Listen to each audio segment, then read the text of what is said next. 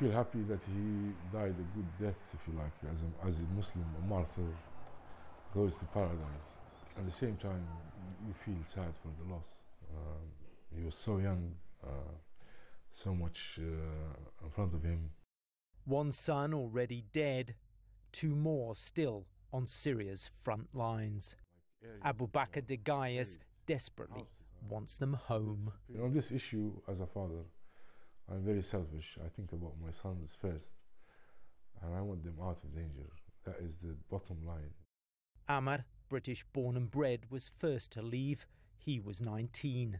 He took up arms a year ago with Al Nusra Front, an Al Qaeda linked faction battling the Syrian regime, but also designated a terrorist group by the US.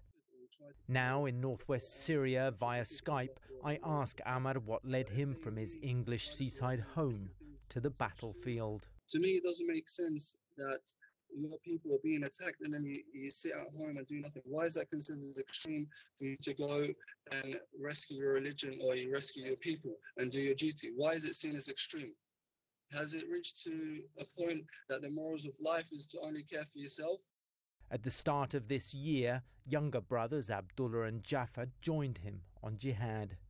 Deghayes had been to Syria himself doing aid work. He says he tried unsuccessfully to persuade his sons to focus only on the humanitarian effort. In April, the news this father had been dreading. One of his three jihadi sons was killed. Abdullah advanced into the territory of, of the Syrian army and then um, a sniper shot him in his chest, I think. And he fell on his back, looked to the sky, and laughed, and then died. That's how his brother describes. And since the launch of US airstrikes in Syria, Deghayes knows the danger is growing for his two surviving sons.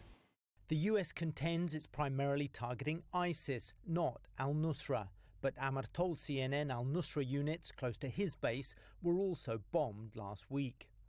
Amar says al Nusra may now cut a deal with one time rivals ISIS to confront the American led offensive. The scholars of Islam have came together to, to, to work towards a, a peace treaty between all the groups as they see it's more beneficial in order uh, for facing this uh, coalition.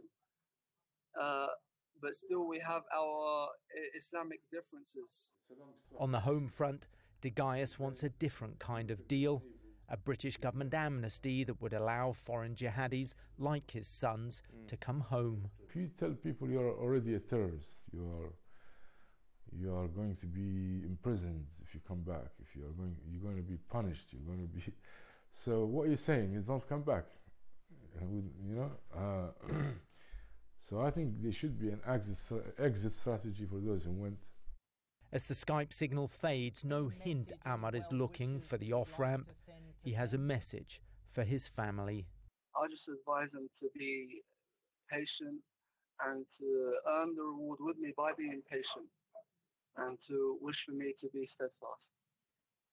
Leaving his father clinging only to snapshots of a summer long gone. Karl Penhaul, CNN, Saltdean, England.